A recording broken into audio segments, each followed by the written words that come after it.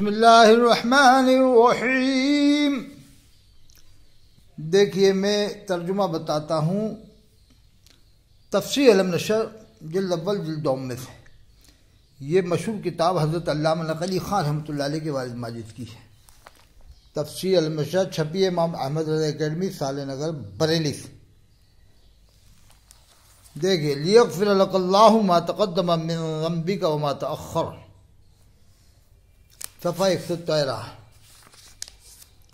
यानी ये हबीब, मेरे, मैंने जो उमूर के तुझसे कबल नबूबत वाक़ हुए और जो कसूर के आइंदा वाक़ होंगे, सब माफ़ किए। यही बात अगर इस तरह से देवबंद वाले लिखते तर्जुमा तो फिर फतवे लगा देते। ये देखो सूर्य फतह की पहली आयत। इन लग फतह ये देखिए, पूरी आयत लिखी है। सफ़ा एक सौ पंद्रह। अब देखिए, सफ़ा एक सौ सोलह तर्जुमा देखिए आप। यही तर्जुमा का देवबंद वाला करता था तुम पहले फतवे लगाते थे। हमने फैसला कर दिया कि तेरे वास्ते सरी फैसला, ता माफ़ करे अल्लाह, तेरे अगले और पिछले गुना और पूरा करे तुझ पर अपना एहसान और चलावे तुझको सीधी राह। फाजिल बरेलवी ने यहाँ तर्जुमा किया है दिखावे तुझको सीधी राह। अब वो कायदा कहाँ चला जाता है? जो एक बार तोसीफ रजा संभली कर रहा था कि यह कायदा, ये फेल मुजारे और वो फिर कायदा देवबंद वालों ने तर्जुमा किया, वहाँ क्यों नहीं देखा? अहदन सरात मुस्तकीम।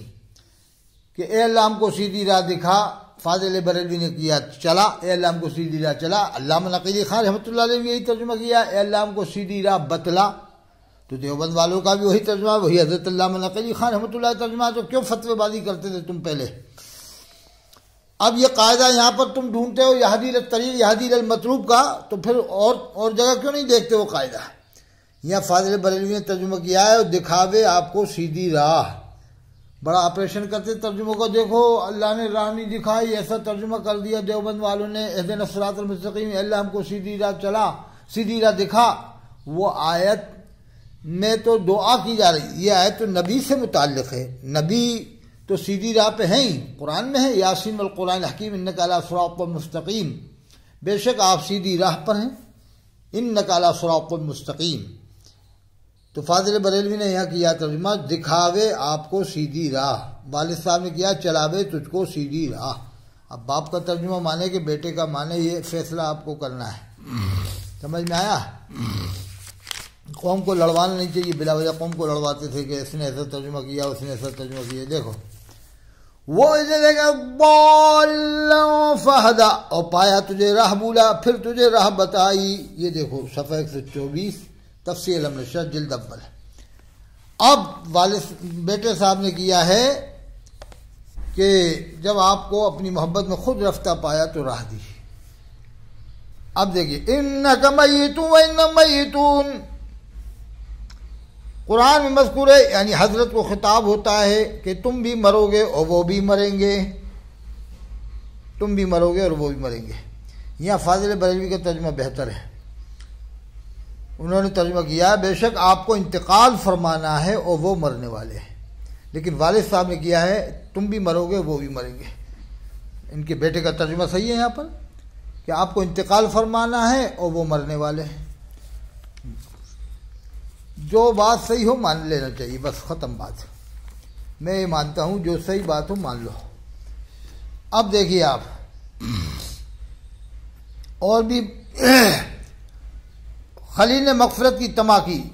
अतमफ़र अली खती अति यौमद्दीन। हबीब को बेतमा दौलत दी गई। लियाफ़र मातकदम मिन का मात तो यही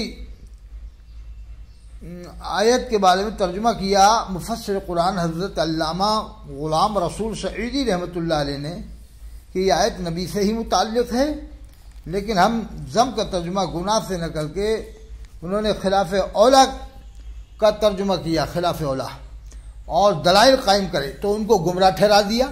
अल्लाह पीर करम चौधरी को काफिर ठहरा दिया कि वो हज़रत अबू तालिब को मुसलमान मानते थे, इमाम हसन को सलाम लिखा। अल्लाह गुलाम रसूल सईदी को भी गुमराह ठहरा दिया, पूरी किताब उनके खिलाफ लिख डाली। किस किस को तुम काफिर कहोगे? अल्लामा ताहिर जो इमाम महक्कीन है, उनको भी काफिर करार दे दिया। और हज़रत अबू तालिब के वालिद को भी ये लोग मुसलमान नहीं मानते हैं। जो हज़रत अबू तालिब को मुसलमान नहीं मानते हैं। इनसे कहो कि अपने घर में बैठे चुपचाप।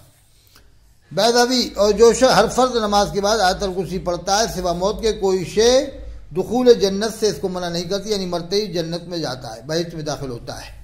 150 तफसी अलम नशरा। अब यहाँ पर शैतान कहाँ से बेकाना जाएगा जन्नत में? मरते ही बहित में जाता है आयतल कुर्सी पढ़ने वाला।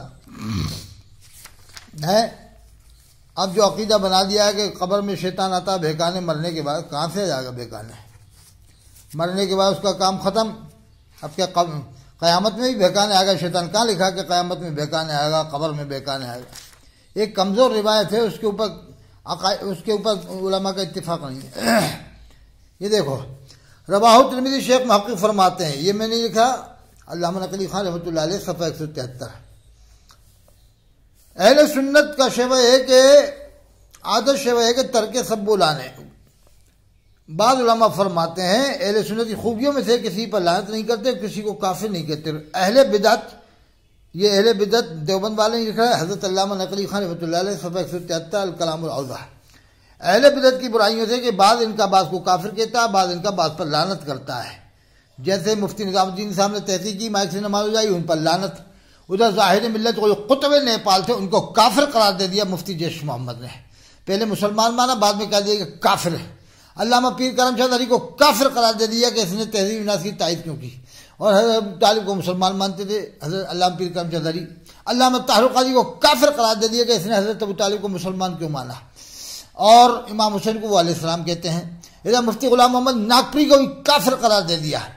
और बहुत सारे उलमा को उबैदुल्ला खान आदमी को जयाल मुस्तफ़ा साहब ने काफिर करार दे दी कि काफिर उबैदुल्ला खान आदमी और हज़रत अबू तालिब कोई मुसलमान नहीं मान रहे लोग, इन्हें एक ही रिवायत मिलती है, दूसरी नहीं मिलती।